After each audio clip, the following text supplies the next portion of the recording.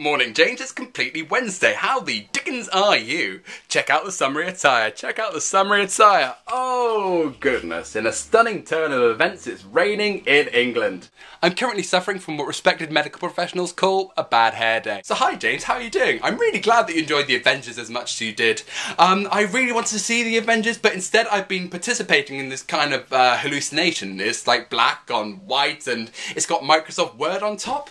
It's called my dissertation. You haven't heard heard that for the millionth time, but thankfully it's the last week of it, and like, oh god, the finishing line is in sight. I've done the bulk of it, I just need to do the supplementary stuff, like pass it through my tutor. But it occurred to me, like, at some point you're going to be faced with a similar workload, right? You're going to be faced with a project, it may be a dissertation, it may be a film, or whatever you're doing at uni, whatever's required for you at uni, you're going to be faced with some kind of workload that just makes you really grumpy and like a giant squid of anger. And that's not fun. So this video is going to be tips on how not to go in insane. And I'm not using that term lightly, James. Rewind back to Sunday, my two thought processes were James's video was really great yesterday. And.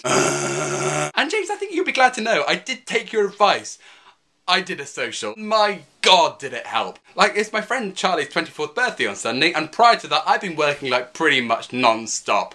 For the past I'm not going to take a guess about how long that was. By Sunday, I was really frustrated. I wasn't getting anywhere and felt really, really grumpy and just like a bit grr at the world. If I had the brain capacity at that point to ask, is this what mental exhaustion feels like? My body would have definitely replied, yeah. So yeah, definite tip number one, James. Be social. I know you're really good at it, but at some points it's really difficult to kind of take your own advice. But in the same way, do get some sleep as well.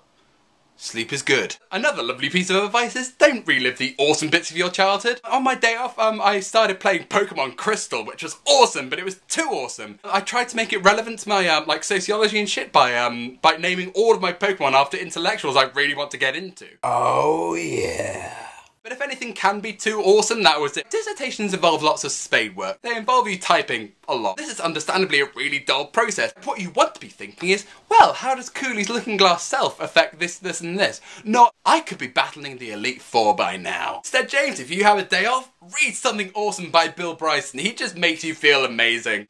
James, I've been reading A Walk in the Woods by Bill Bryson recently, and it's awesome. But it also reminds me of like one of my first memories of you, like like like when we walked from Fowey to Padstow, like in 2005. And just as an aside, James, Scouts doesn't really teach you anything, apart from how to be a complete asshat. I was in the slightly older group hiking and you were in the slightly younger group hiking. But the asshattery came when you kind of like tagged behind like a significant amount and everyone else had to stop, which was an awesome kind of thing to do. But instead of staying long enough so you could have a rest, as, as soon as you caught up, they started like walking again, which meant you had no rest. And I think we can draw an analogy here, James. No matter how slow you think you're going, even if you think you're going nowhere, James, especially if you think you're going nowhere, do take rests. They help.